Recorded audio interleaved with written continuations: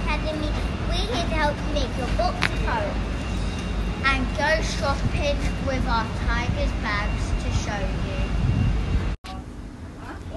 We're in Living Plaza.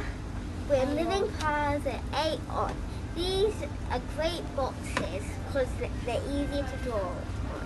And these are good, the goodies such as pens, pencils, colour pencils, towels, balls, and all kind of stuff that's useful.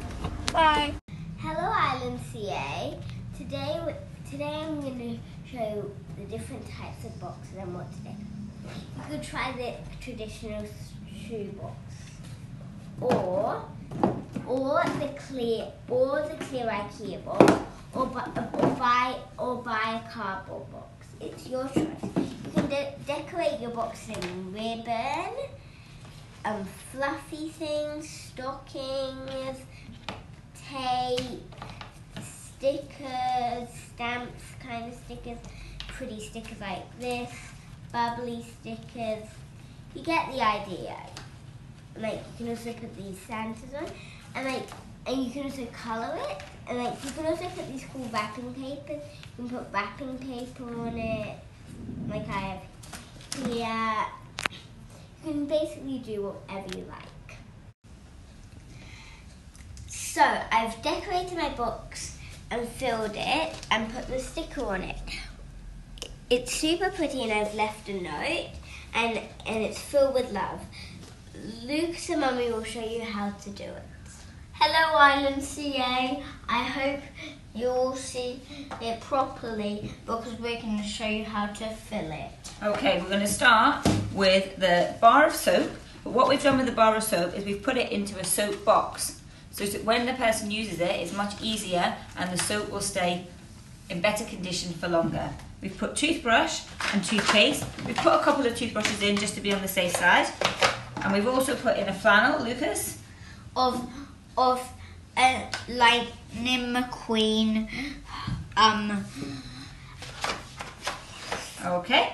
And then now we go on to the notebook, which we've got a nice notebook and we're going to put that in the box. And put it at the bottom. Just squeeze it in. And then then we've got pen and pencils. So what we've done is some pencils and a pen, and we got one of these really handy pens that has four colours in one pen, which saves some space in the box. We've also decided to get an extra pencil case, so it's nice and easy for the person who gets it to keep all their goodies. And Lucas has also chosen a Lightning McQueen, rubber and sharpener. A sharpener is really important because without it, the pencils are a bit useless. And then also, for an added extra, we've put in some colour pencils so they can do some colouring in the book.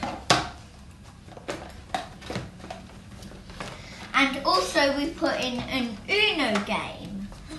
It's called, it's a fun game to play, like very fun. And then we've got a ball, it's our something active.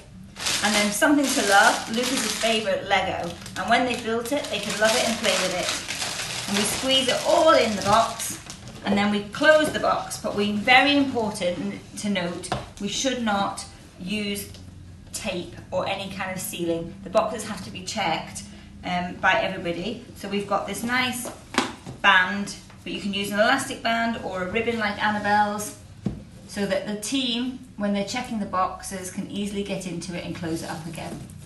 Make sure the label's on the outside and then bring it to school before the 8th of November.